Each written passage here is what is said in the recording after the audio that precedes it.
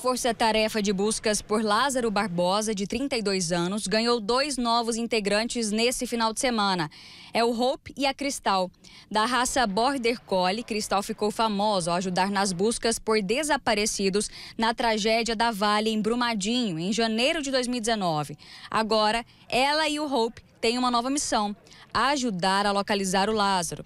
Os dois são cães farejadores do Corpo de Bombeiros e treinados com uma técnica chamada venteio.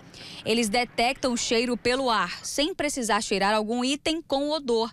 Além deles, Outros cães da Polícia Militar do Distrito Federal também estão na região participando das buscas. São cinco animais no total participando dessa operação que já dura 13 dias. Foi nessa região aqui que Lázaro foi visto pela última vez, segundo alguns moradores. Uma moradora daquela casa ali chegou a acionar a polícia na madrugada de sexta para sábado, afirmando que ouviu um barulho durante a madrugada. Os policiais vieram, fizeram uma varredura, mas não encontraram nenhum sinal de Lázaro.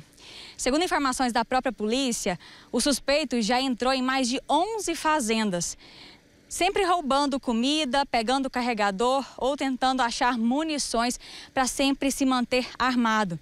São mais de 270 policiais ainda fazendo a varredura atrás de Lázaro. E pelo fato de alguns moradores denunciarem que estão vendo, ouvindo barulho, muitas equipes estão voltando nos lugares onde já fizeram essa varredura para continuar fazendo um trabalho ostensivo nessas regiões, a fim de localizar qualquer pista que identifique identifique o rumo que Lázaro está tomando. Já fazem dois dias que ninguém tem notícias do paradeiro de Lázaro. Dias atrás, um cão encontrou um pano com marcas de sangue em uma mata nas proximidades de onde é realizada a operação para capturar o criminoso. A polícia acredita que seja uma espécie de torniquete usado por Lázaro, que poderia estar ferido.